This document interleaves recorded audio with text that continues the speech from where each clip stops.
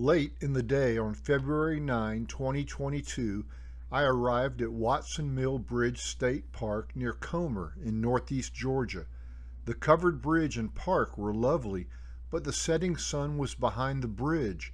It was a good time for photos of the quiet mill pond and sunlit west side of the bridge, but the wrong time to photograph the east side and the dramatic shoals on the south fork of the Broad River.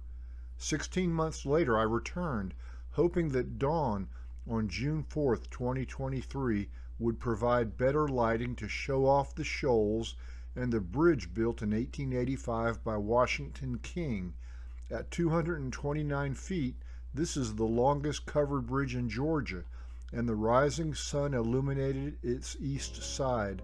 The vibrant late spring foliage and rich light made the setting magnificent. Still, I thought I could do better. So I returned again eight months later at sunrise on February 4th, 2024. These photos were taken at the bridge and on the nearby South Fork Trail early that morning. My first trip to Watson Mill Bridge State Park was in February 1980 when I was a freshman at the University of Georgia. That trip included a handful of friends from Myers Hall. Coincidentally, Three of us were from Miami, Florida, though we hadn't known each other there. To us Miamians, Watson Mill Bridge State Park was about as far as you can get from our hometown, a busy, modern city filled with excitement, noise, and the congestion and hurry of metropolitan living. In contrast, Watson Mill was tranquil and soothing and strikingly beautiful. The bridge and mill ruins, scenic river shoals, and wooded hills were calming, reassuring reminders of what it's like when man works in harmony with his environment. This is what happens when man builds with wood, stone, brick, and wrought iron instead of concrete, plastic, and acres of sheet metal, when we work with the land instead of monstrously grading or filling it. Like the Golden Gate Bridge, St. Louis Arch, and Statue of Liberty, Watson Mill Bridge suits its environment. These are instances in which mankind did well. That doesn't happen often, and there's little chance of being overcome by mankind's ingenuity and labors and good taste.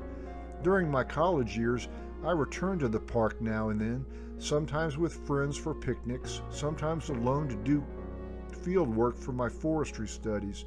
Beauty and tranquility are pervasive here, so this became a favorite state park. Shortly after college, I brought a young woman here for one of our first dates, a picnic on a river rock. Now we've been married for 36 years.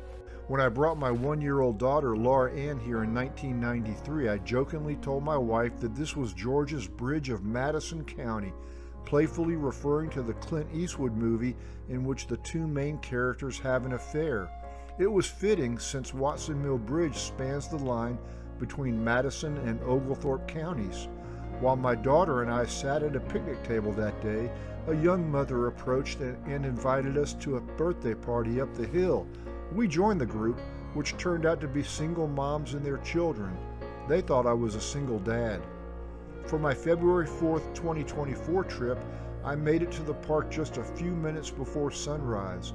I set up my tripod and camera on the rocks below the bridge, dam, and falls and began taking timed exposures. The sun rose in the cloudless midwinter sky, illuminated trees behind the bridge, then one end of the bridge, then its full face, and finally a loblolly pine to my left.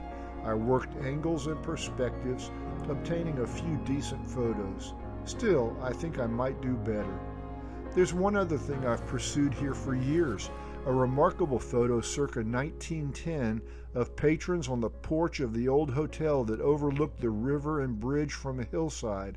The photo is displayed on park brochures and signboards, but no one has been able to locate a good copy. Someday I'll find it, but I've been looking for 30 years and counting. After sunrise, I walked the South Fork Trail. This easy and short trail follows the mill race to the ruins of a a turn of the 20th century electric generating plant. From there, it winds on a hillside above the river through a forest of white oak, yellow poplar, black gum, American beech, and American holly.